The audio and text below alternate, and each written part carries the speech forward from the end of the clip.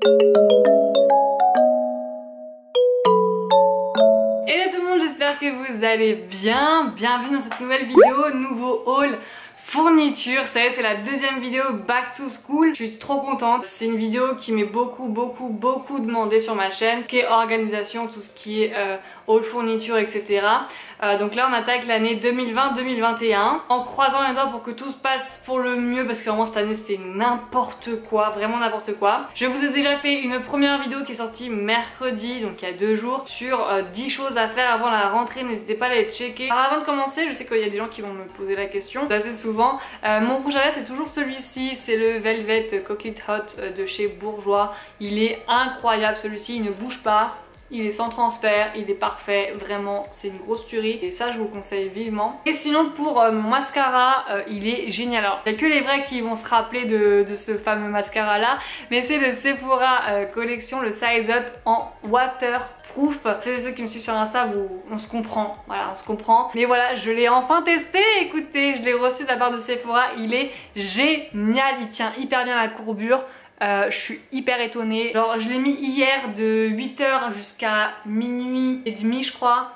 Il a tenu la courbure, il est génial, vraiment génial, génial. Il fait pas de paquet, il, sépare bien les cils, non vraiment. il est génial.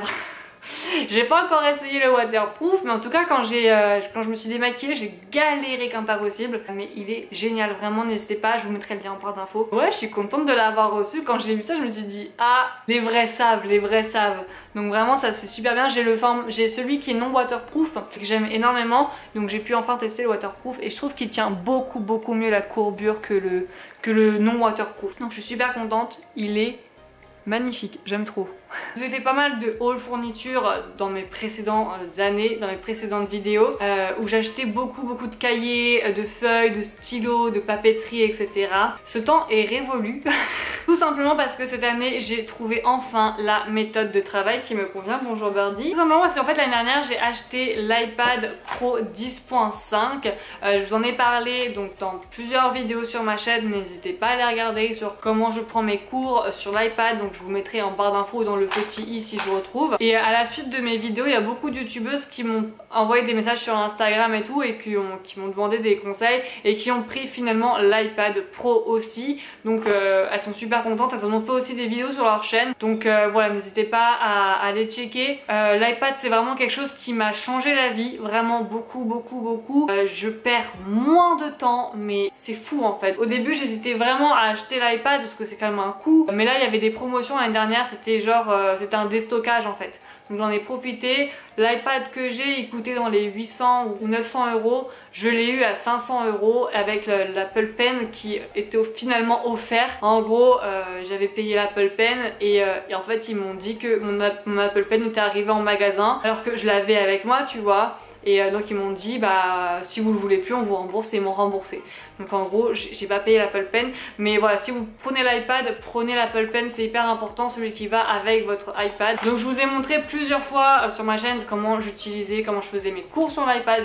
Franchement n'hésitez pas à les regarder peut-être que ça va vous donner envie d'acheter cet iPad là. Mais en gros euh, voilà comment ça se présente. Moi j'ai une coque que j'ai achetée sur Amazon avec en fait un clavier que j'utilise pas trop en fait. Ouais, j'ai dû l'utiliser deux trois fois parce qu'en fait il fait, il fait beaucoup de bruit un petit peu. Enfin, ça me gêne de. Enfin, tu sais, j'ai l'habitude du clavier du MacBook Pro. Euh, le, petit clavier de celui-ci il est un peu gênant, mais après la coque elle est super bien. On peut le mettre comme ça et on peut, vous savez, euh, le poser. Voilà, comme ça. Donc c'est hyper pratique, ça n'abîme pas l'iPad. L'iPad, ça m'a changé la vie, vraiment. Donc n'hésitez pas à aller regarder mes petites vidéos là-dessus, puissiez voir un peu euh, comment je faisais etc donc en gros moi je faisais même plus de fiches de révision. Quand j'écrivais mes cours à la main donc sur l'iPad et en fait mes cours c'était directement mes fiches. Je vous mettrai peut-être des insertions de mes cours euh, ici une petite fiche que j'ai faite etc je trouve que c'est hyper clair hyper euh, coloré. Moi j'adore les choses colorées. C'est hyper important que ce soit coloré sinon je m'ennuie à mourir. Il faut que ça soit synthétique. Euh, par exemple un cours de, 10 pages ça doit tenir sur deux pages recto verso. Enfin tu vois ce que je veux te dire? Faut que ce soit vraiment synthétique coloré euh, clair, dès que tu vois la feuille, tu sais de quoi on va parler en fait. Donc euh, voilà, moi j'utilise l'iPad et je trouve que c'est la meilleure méthode de travail. Donc euh, pour ceux qui veulent acheter l'iPad pour les cours à l'université, je vous conseille du pro. Je vous conseille pas les mini ou les choses comme ça, je vous conseille le pro. Vous avez besoin de batterie, vous avez besoin de puissance pour vos cours. Achetez un pro, moi je regrette entre guillemets de pas avoir acheté de nouvelle iPad Pro 12 pouces, je sais plus trop quoi, parce qu'en fait ça m'utilise beaucoup pour YouTube. Si j'avais pas YouTube, un pro basique ça va. En dessous du pro, je vous conseille pas tout ce qui a iPad mini etc. T'as pas assez de surface pour écrire, c'est pas assez puissant pour, moi en fait. Mais euh, donc prenez le pro, c'est un coût un peu plus élevé. Et franchement tu vas l'avoir pour toutes tes années fac et même plus encore. Donc euh, après l'iPad, moi j'ai le MacBook Pro 15 euh, pouces ou 13 pouces je sais plus. Donc celui-ci que j'avais acheté en fait à 1000 euros, c'était en déstockage aussi, une espèce de déstockage à Carrefour, c'était des modèles d'exposition en fait. il marche super bien, moi je l'ai surtout acheté pour YouTube et euh, pour mes cours euh, à la fac de droit parce que c'était vraiment vraiment très très bien euh, donc il est super bien, il tient bien j'ai aucun souci là-dessus donc si vous êtes en droit je vous conseille pas trop l'iPad pour ceux qui sont en droit, je vous conseille plutôt le MacBook. Moi j'ai que, que Apple sauf pour le téléphone. Le téléphone je resterai toujours chez, sais pas Apple, genre chez, chez, Xiaomi ou autre, tu vois. Mais à côté de ça, en fait, euh, j'aime bien avoir un peu de papeterie parce que moi, en fait, des fois, j'imprime mes cours, j'imprime surtout mes TD. Donc, j'ai bien d'avoir un peu de, de crayons, de stabilo, de trousses, etc. Donc, je vais vous montrer tout ça. Euh, d'abord, il y a ma voisine qui m'a filé sa relieuse.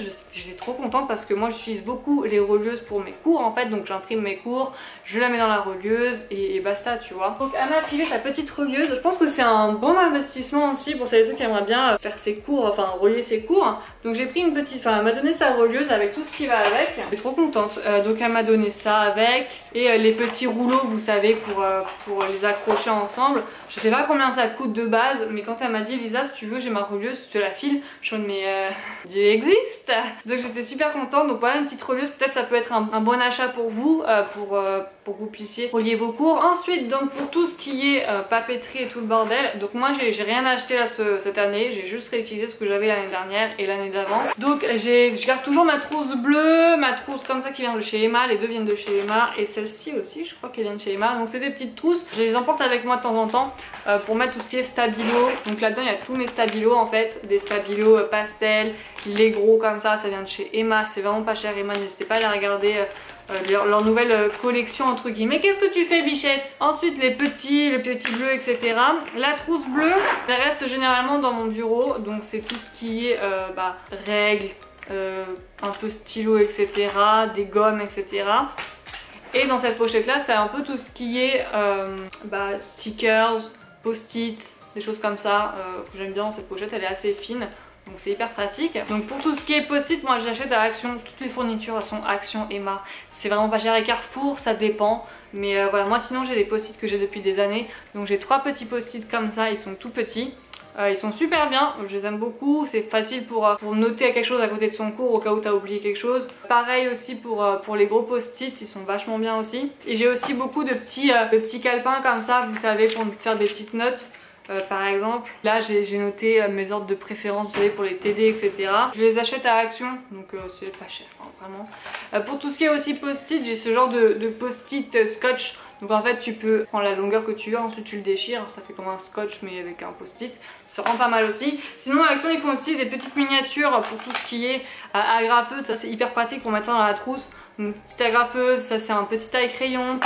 Euh, ça c'est pour enlever les agrafes, un petit ciseau. Ils font aussi des trucs pour le scotch et tout, enfin bref c'est hyper hyper mignon. Euh, j'ai aussi des petits euh, perforeuses, je crois que ça s'appelle comme ça. Donc c'est à un trou, j'en ai aussi à, à trois trous. Mais ça c'est vraiment pratique aussi pour tout ce qui est fiches de révision. Quand, des, quand je fais des fiches c'est rare mais quand j'en fais, je les fais en petit format comme ça. Je fais un trou sur, le, sur un côté en fait et ensuite je mets un anneau pour les faire tenir ensemble. Donc moi je fais toujours ça. J'ai aussi un taille-crayon chouette. Ça c'était une... Euh, c'est une abonnée qui me l'a offert en fait avec une box pour étudiantes. Donc euh, j'ai gardé, c'est trop mignon. Et aussi à Action, voilà, ils font euh, des petits... des petits pins comme ça, des petites des agrafes, des machins, etc. Ça coûte pas cher à Action. J'ai aussi, vous savez, des petits post-it comme ça. Vous savez, c'est les petits, donc ça je les achète à Emma ou Action. Donc ça c'est vraiment pratique aussi, j'utilise beaucoup dans mes cours pour pouvoir, euh, comment dirais genre un post-it ça fait chapitre 1, le deuxième post-it ça fait chapitre 2 etc. Donc c'est pour, pour mieux me repérer dans, dans, mes cours en fait. Donc pour mes cours, je vous montre un peu, j'ai un classeur comme ça. Donc soit je les imprime mes cours, c'est rare, mais j'imprime surtout mes TD en fait, tout ce qui est TD je les imprime. Donc vous avez ce genre de petit, euh, comme ça là où j'ai marqué maths etc.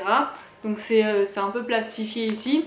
Et en fait, là c'est ma page de présentation, donc il y a marqué cours algèbre linéaire, je crois que c'est marqué. Donc c'est moi qui le fais sur l'iPad ça. Ensuite en fait, je sais pas si vous voyez, là j'ai un petit post-it où il y a marqué cours et j'ai un autre post-it où il y a marqué TD. Donc voilà, je fais comme ça. Mes cours sont comme ça. Donc au moins c'est propre, c'est clair, c'est net et tout. Genre, donc là c'est mes cours, mes chapitres, etc. Mais après ça, je le... Enfin vraiment quand j'imprime ce genre de cours c'est rare. Vraiment c'est très très rare. Et là c'est tout ce qui est TD. Donc là vous pouvez voir aussi le petit post-it avec TD. Là c'est pour la macroéconomie. Donc en fait voilà c'est le chapitre 1. Donc je mets le premier post-it par exemple. Donc voilà comment ça se présente. Donc voilà aussi pour tout ce qui est management. Donc quand c'est des quand j'ai déjà le cours en PDF et que le prof dit exactement la même chose que sur le PDF en fait, j'imprime le PDF et je surligne le cours donc voilà comment ça se présente. J'ai fait ça comme ça. Donc voilà un peu comment sont mes cours. Et en fait, je les mets là-dedans. Je mets surtout les TD là-dedans. Comme ça, quand je suis en TD, bah au moins je peux relire facilement euh, bah, tous les exos et tout. Donc euh, ça, je le fais assez souvent. Ensuite, pour tout ce qui est stickers, ça c'est la vie les stickers, hein, vraiment. Euh, j'ai ce genre de choses. Donc c'est des stickers que j'avais acheté à Action. J'en ai utilisé quelques-uns. Donc c'est celui-ci. ouais, ils sont super bien. J'ai aussi le sticky note comme ceci. C'était vraiment pas très très cher. Donc c'est hyper beau parce que c'est holographique, j'aime trop. J'ai aussi celui-ci, il y en a vraiment pas mal c'est super cool, j'aime trop. Pour tout ce qui est aussi stickers, je les mets souvent là-dedans. Euh, c'est dans une pochette qu'une abonnée aussi m'avait offert avec des petits cactus, c'est trop beau. Donc à l'intérieur vous avez aussi des petits stickers et j'ai des étiquettes aussi pour mettre sur mes classeurs, sur les choses comme ça où je peux te dire un peu ce que c'est comme cours. Ensuite pour tout ce qui est planeur, wiki planner, etc. Moi j'utilisais beaucoup beaucoup ça. Euh, ça je l'ai retrouvé dans un de mes cartons, j'étais trop contente, je l'avais perdu je pensais. Je pensais que je l'avais perdu mais en fait pas du tout. Donc c'est un wiki planner, donc ce que tu peux faire c'est que tu peux faire ça pour tes repas, pour planifier les repas ou alors pour toi pour la semaine qu'est-ce que tu dois faire etc. Moi je vous avoue mon emploi du temps je le fais surtout sur l'iPad c'est hyper rapide, c'est hyper fonctionnel. Je, je, mets tout ce que je dois faire dans la journée, c'est hyper pratique. Mais sinon vous avez aussi ce format papier là et je l'ai acheté à Emma. Sinon ça je l'avais acheté à Action. C'est euh, genre euh, un... Bon, c'est pas très très beau je vous avoue. vous avez post-it en fonction des jours de la semaine. Donc chaque jour tu mets ce que tu dois faire etc. Donc c'est pratique aussi. Ça je l'ai acheté aussi à Action c'est un organisateur, ça j'ai utilisé assez souvent quand même. Donc ça se présente comme ça, donc ça s'ouvre. Vous avez une grande feuille pour écrire, après vous avez plein de petits to-do, etc. Moi j'utilise beaucoup ce genre de feuilles et ça aussi, c'est hyper pratique. Donc euh, ça, ça reste toujours dans le bureau par exemple, tu vois. Ensuite pour tout ce qui est stylo, je garde toujours toujours les mêmes. Ceux de chez Emma, ils sont excellents. C'est ceux-là en fait, ça se vend par plusieurs, je crois, ça se vend par 3 ou 4. Donc j'essaie de retrouver là-dedans. Donc en fait j'ai mis mes stylos dans des boîtes ma jolie candle comme ça. Ça fait mon petit pot à crayon. Donc voilà il y a plusieurs couleurs et tout. Et je mets tout en fait dans, dans ce petit pot là. Donc vous avez des surligneurs pastel. Vous avez ceux-là les basiques là et vous avez des crayons etc donc ça je le laisse toujours sur mon bureau écoutez je pense qu'on aura fait le tour de la vidéo au niveau des fournitures je n'ai rien acheté cette année ça me fait vraiment beaucoup beaucoup d'économies l'iPad c'est ouf euh, je vous conseille vivement de vous renseigner, euh, surtout quand vous êtes étudiant, vous avez moins 10% je crois chez Apple. Mais regardez un peu les offres, les promotions et tout, les déstockages dans les Carrefour, dans les Fnac, etc. Euh, moi c'était l'année dernière au mois d'août, c'était la même période, je crois que ça fait un an que je l'ai acheté. Et vraiment l'iPad ça m'a changé la vie, ça m'a changé ma manière de travailler. Je vous invite vraiment à aller regarder sur ma chaîne toutes les vidéos concernant l'iPad. Vous mettez juste Pandapi, iPad, cours ou je ne sais quoi et vous avez, vous trouvé. Ou sinon j'essaierai de vous mettre ça en barre d'infos. Donc voilà. Bref j'espère en tout cas que cette vidéo vous aura plu. N'hésitez pas à liker si c'est le cas et à vous abonner à ma chaîne. Juste là si ce n'est toujours pas fait je vous mettrai d'anciennes vidéos qui s'afficheront juste en bas. Je vous fais d'énormes bisous et je vous dis à plus tard dans une prochaine vidéo. Bye bye